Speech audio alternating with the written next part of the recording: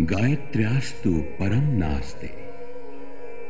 गायत्री से बड़ा कोई मंत्र नहीं है। ऋषियों ने इसीलिए गायत्री को महामंत्र कहा है। जो कोई इस मंत्र का शास्त्रोक्त विधि से पारायण करता है, उसके सारे पाप शाप तत्काल नष्ट हो जाते हैं। गायत्री मंत्र के मनन से धन धान्य संतति समृद्धि बढ़ती है तथा मनोवांछित फल प्राप्त होते हैं।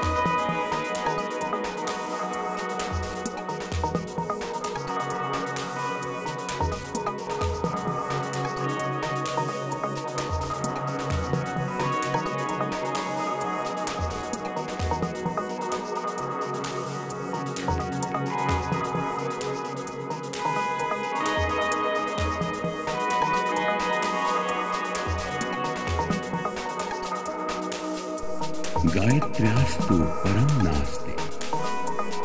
गायत्री से बड़ा कोई मंत्र नहीं है। ऋषियों ने इसीलिए गायत्री को महामंत्र